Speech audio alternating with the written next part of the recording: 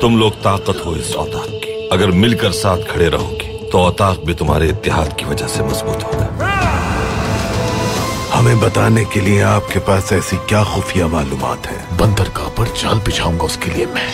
जब तक दुनिया नए दौर में दाखिल नहीं हो जाती मैं इस परचम को बुलंद रखने का फ़र्ज़ निभाऊँगा इंशाल्लाह। मशरक की तरफ़ जाने वाले रास्ते में उसे मारना होगा रिपू का इसकी कीमत चुकानी होगी तुम्हें। पर के खान को उस जासूस का नाम कभी नहीं बता सकोगे। अपनी हैसियत से बड़ी जसारत कर दी तुमने। दीमक और जहर दोनों को निकाल दूँगा। किस्मत ने इस इम्तिहान में डाल दिया तुम्हें। वक्त आ गया है गद्दारों के सर कलम कर दिए जाए। तुम राख हो जाओगे अरे बुका कोई नहीं बचा जो हमारा साथ दे।